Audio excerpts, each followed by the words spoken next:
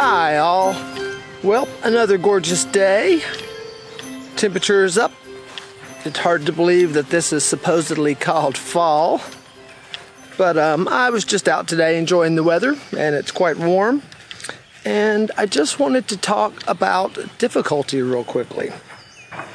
It seems we're in a time where difficulty is almost viewed negatively. Now, don't get me wrong. I understand that difficult times are not joyous. I understand that difficult times are not anything any of us look forward to. But I think we tend to underappreciate our difficult times. Because you see, during difficult times, many of us rise to the occasion more so than others. We look inwards, we dig deeper, we try to find more positives in our life. In some way, that's a good thing. And yes, in some way, that is driven by difficulty. So we could look at difficulty not as something to avoid, but as a catalyst now, again, I think balance here is what we're talking about because no one wants to go out and find difficulties just to grow. But I think on some level, if we can accept our difficult moments, our difficult times, um, difficult headlines in the news, and if we can take the time to take those difficult moments and energies and reflect upon them I think we can grow from them, as I said, a catalyst, without putting more effort into it than is required.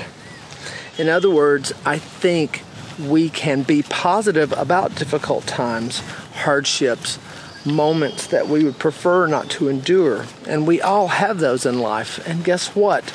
We will all continue to have those in life. That is just the beauty and the balance of this life.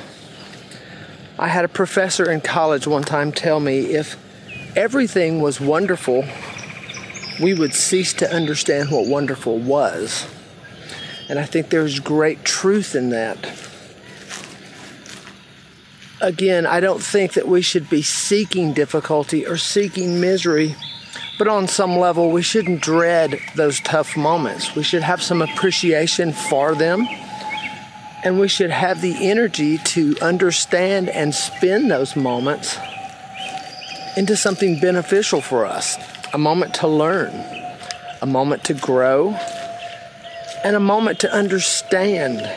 Because in every difficulty, I believe there's a lesson for the open mind and the keen observer. And as you know in Buddhism, those are two practices that we all hope to have, that we work on daily in our meditations and otherwise. So the next time you have a difficult moment, and they occur daily, reflect upon it. See what you can learn from the difficulty. What went wrong? Where did it go wrong? Was there anything wrong at all?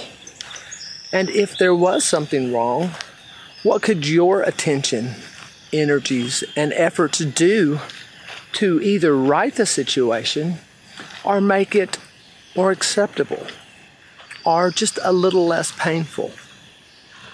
I think if you dig in there, you find great compassion and understanding not only for yourself, but for others.